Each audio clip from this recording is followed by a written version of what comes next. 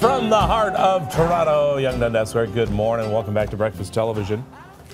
Um, this is this is interesting. Here's this, an article in the uh, Star from this morning that it looks as though the the stick shift car is going the way of the dodo birds a lot quicker than we thought. manual transmission, but there's some vehicles that, you know, when it comes to a Jeep, you got to have manual transmission. If you got a Mustang, you got to go manual. Young Drivers of Canada, the number of students asking for lessons on a manual has slipped from 40% of students in uh, 1988 to only 5% in 2008. And this year, there are there are just 1,500 fewer than 2% of all GTA students who want to learn how to how to drive manual. And honestly, uh, I know Beth loves the stick shift. She Right. she in fact every car she gets now it has to be the stick shift. She goes out of her way, but it's getting harder and harder to find them. Even the sports cars. I know. Well, are even, switching. even a lot of uh, smaller trucks that are around the range of 20 to 30 feet, Yeah. most trucks are automatics.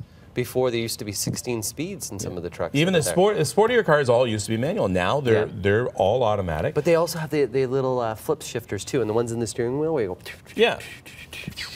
Yeah. But the, the um, you know, whenever I take uh, her car to a car wash, I've got to watch carefully if it's one of those ones where people drive them for you, because a lot of times the kids will, will get into the car to move your car and they'll go, "I have no idea how to do this." Did you have a stick shift ever?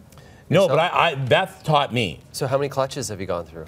I'm not too too bad. I'm No? not too too bad. And even my daughter, eh, eh, my, our oldest daughter, Brienne was just really upset when we we uh, we bought we bought a second car, uh, you know, and she said it's a stick shift. I can't do that. I'm never going to be able to do it. Now she swears by it. She says every car, hopefully she buys in the future, will be a stick shift. So, And the way to prevent people from texting maybe is to have stick shift cars. do you know what?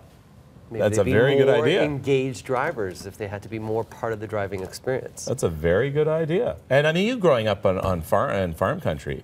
Oh, yeah. I mean, you have to know how to how to. I went through probably about six clutches. I used to wear them all down so that they would slide in a lot easier. Yeah.